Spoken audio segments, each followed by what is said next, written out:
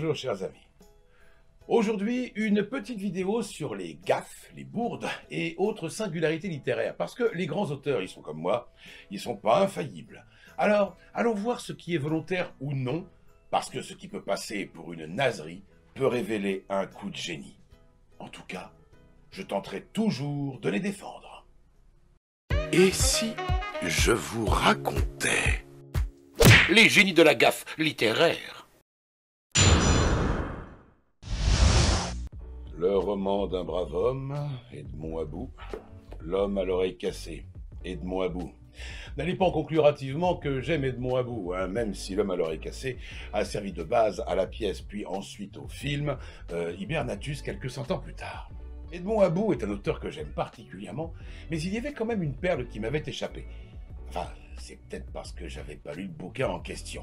Je cite, dans Les mariages de Paris, Edmond Abou écrit Victorine continua sa lecture en fermant les yeux.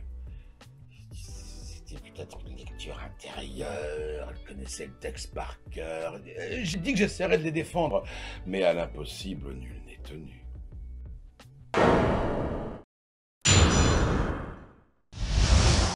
Au XIXe siècle, nombreux étaient les auteurs qui écrivaient en feuilletonnant. Ils écrivaient donc beaucoup et très rapidement, on se souvient très bien de la cadence de travail de Balzac. Et parfois, ils pouvaient laisser passer une petite bourde, comme ci, comme ça, puisque les gars ne prenaient pas forcément le temps de relire.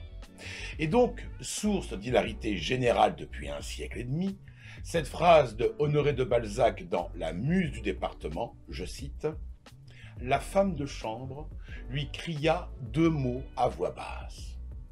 Crier deux mots à voix basse. Alors très curieusement, pour une fois, je ne me mets pas du côté des rieurs et je suppose plutôt de la part de Balzac l'utilisation de l'oxymore. Un oxymore, c'est masculin. À savoir la juxtaposition de deux mots de signification quasiment contraire. Un clair-obscur, etc. Cela me fait penser à un vers de Cyrano de Bergerac dans La mort d'Agrippine. Euh, oui, je parle de l'auteur Cyrano de Bergerac, pas du personnage d'Edmond Rostand. Dans La mort d'Agrippine, à l'acte 1, scène 2, Séjanus dit « Mais parmi tant d'écueils, hâtons-nous lentement ». Se hâter lentement est un oxymore. Et pourquoi crier à voix basse n'en serait pas un? Voilà, je soumets cela à votre sagacité. Allez-y dans les commentaires. Et se hâter lentement, ça va me permettre une transition avec le point suivant, est une expression qui a été reprise 14 ans plus tard, puisque Cyrano de Bergerac, c'était en 1654. Cette expression a été reprise par Nicolas Boileau, je vous cite le monsieur, Hâtez-vous lentement et sans perdre courage, vingt fois sur le métier, remettez votre ouvrage, polissez-le encore et le repolissez, etc., etc. Se hâter lentement, simplement, ça veut dire persévérer prendre le temps de bien faire sans pour autant perdre son temps. Écrire à voix basse est quelque chose que l'on fait très souvent, notamment au théâtre, un murmure projeté, en quelque sorte.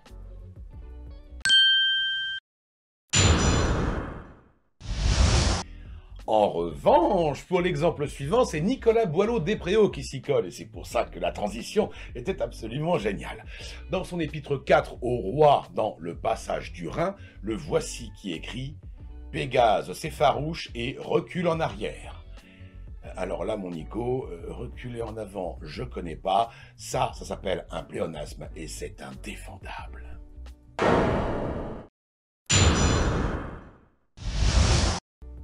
On sait qu'Alexandre Dumas père était assez souple avec l'histoire. Dans le Vicomte de Bragelonne, voilà une citation qui m'a fait, j'allais dire bondir, qui m'a fait hurler de rire. En plus, je suis rémois, et ça, ça va parler aux rémois. La citation est la suivante. Vous êtes, dit Colbert, aussi spirituel que Monsieur de Voltaire. Bon, alors, Colbert, c'est le ministre des Finances de Louis XIV, hein, nous sommes bien d'accord. Donc, né à Reims, fierté régionale, fierté locale. Sauf que euh, Colbert est décédé en 1683 et que Voltaire est né en 1694. C'est-à-dire que Colbert ne peut pas avoir Voltaire comme référence. C'est pas possible. Sauf s'il a une DeLorean. Nom de Zeus Dans mes recherches sur les bourdes d'auteurs, il y a une phrase qui revient souvent. Je cite Dans cette famille, ils étaient stériles de père en fils. C'est signé Alain Edson. J'ai recherché Alain Edson pour savoir qui était cet auteur, ce qu'il avait écrit, à quelle époque ça se passait. Je n'ai rien trouvé. S'agit-il d'un fake, d'un hoax, d'un troll, d'un prank, ce qu'en français on pourrait appeler un canular, hein, pour résumer Je n'ai rien trouvé sur cet auteur. Je ne sais même pas s'il existe vraiment. Alain, si tu nous écoutes, tu peux répondre dans les commentaires ci-dessous, ça serait très très gentil. Et si vous, vous avez des infos, surtout, n'hésitez pas. En même temps, être stérile de père en fils, forcément, ça fait rire. Mais on peut admettre que ce soit d'une stérilité intellectuelle dont on parle, que ça soit une image utilisée par l'auteur. Ce qu'on pourrait rapprocher d'une traduction de Don Quichotte, hein, de Cervantes, qui parle de femmes qui meurent à 80 ans et qui finit, la citation, par toutes aussi vierges que leur mère. Traduction donc de Don Quichotte. Cette virginité n'est peut-être qu'une réputation qu'elles essayaient de faire propager. Ou peut-être que ça n'avait aucun rapport avec une virginité virginale. Ce serait une utilisation maximale du sens figuré. Dans Le Petit Duc, Pierre Hervieux écrit « Je ne l'avais jamais revu depuis sa mort ». Eh bien, cette évidence niaise a un nom, une dénomination en français, à savoir une lapalissade. Et alors ce nom de la palissade est d'une injustice absolument totale. Cela vient du nom de Jacques Chabal, marquis de la Palisse, un guerrier extrêmement courageux et dont les soldats ont voulu saluer la bravoure dans une chanson après le décès de celui-ci. Une chanson dans laquelle il est écrit Un quart d'heure avant sa mort, il était encore en vie.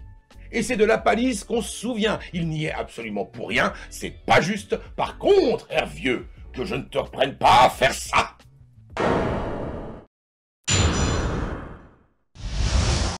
Il n'y a pas qu'à l'école que le français, la littérature et les mathématiques, le calcul, font mauvais ménage.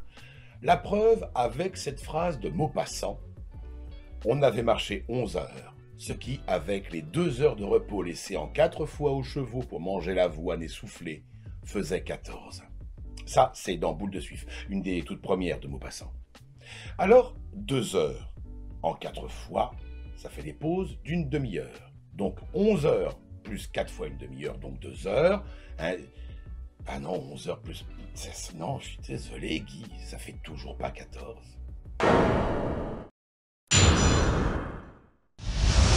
À cheval entre le XVIIe et le XVIIIe siècle, l'abbé Pellegrin a écrit nombre de poèmes, de pièces, de textes en tout genre, et des livrets d'opéra, dont un qui s'intitule Lot, le personnage biblique connu. Et le premier vers du livret de Lot était L'amour a vaincu Lot. Ça, là, moi, j'y suis pour rien, ne me regardez pas comme ça. Et comme il était notoire que l'abbé de Pellegrin était dans la misère et qu'il manquait notamment de culottes, la Vox Populi lui disait assez régulièrement Eh bien, il faut en emprunter une à l'amour.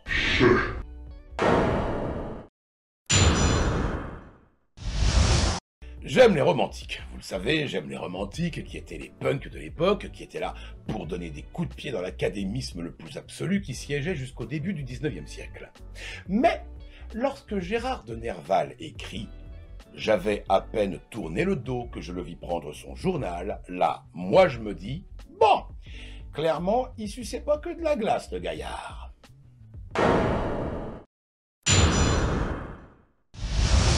La bienséance et les bonnes manières font partie intégrante de la culture et de la littérature française. Aussi, quand Pierre Andrieux écrit L'art de la table, il explique bien La salle à manger sera aussi accueillante que la maîtresse de maison. On doit être heureux d'y pénétrer et n'en sortir qu'à regret. Au niveau grammatical, c'est inattaquable. Au niveau sémantique, c'est pas la même.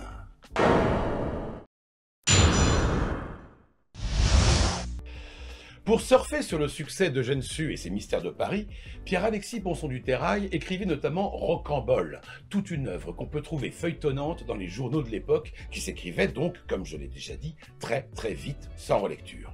Rocambole devient un véritable phénomène de société. Le mot rocambolesque fait son apparition dans le vocabulaire pour désigner une histoire compliquée et invraisemblable. On peut trouver un certain nombre de balourdises, un certain nombre de sottises, un certain nombre d'approximations chez Ponson du Terrail, comme, euh, j'essaye comme ça de tête, euh, je mens, le colonel se promenait de long en large, les mains derrière le dos, lisant son journal.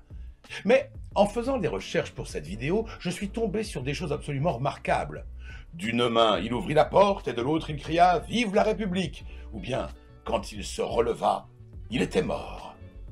Toutes ces choses, toutes ces approximations de Ponson du Terrail, eh bien la plupart de celles que vous trouvez sur des sites internet sont des faux. C'était une cabale organisée par le Figaro, qui déjà à l'époque était un journal c'était un journal. Ponson du Terrail attirait toutes les jalousies avec le succès de ses feuilletons. Lui, il écrivait dans deux autres journaux, dans La Petite Presse et dans La Patrie. Forcément, le Figaro fait des gros yeux et les journalistes de ce même Figaro, dont Robert Robert Mitchell, étaient chargés de se foutre de Monsieur du Terrail. Et donc, voilà, toute une cascade d'approximations et de phrases qui sont attribuées à Ponson du Terrail qui ne sont pas de lui. C'est ce qu'on appelle des apocryphes. Après, il y a des pastiches et des parodies, comme celle d'Alphonse Allais. En voyant le lit vide, il le devint. Ça, c'est un calembour. On va dire un hommage. Dans un ouvrage intitulé Le génie du christianisme, oui, on frôle l'oxymore involontaire, François-René de Chateaubriand écrit Je m'amusais à voir voler les pingouins. Et cela fait deux siècles que cette phrase fait se tordre de rire les internautes et lecteurs de tout poil, sauf que, eh bien, les pingouins, ça vole.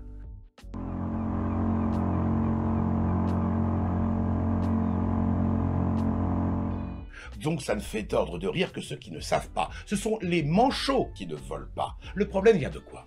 Le problème vient que le mot manchot, donc c'est-à-dire les bestioles qui sont dans l'hémisphère sud, ont été traduites en anglais par penguin. Et comme en France on aime la facilité et les faux amis, on en conclut que penguin égale pingouin. Ça, c'est à l'oreille que ça se passe.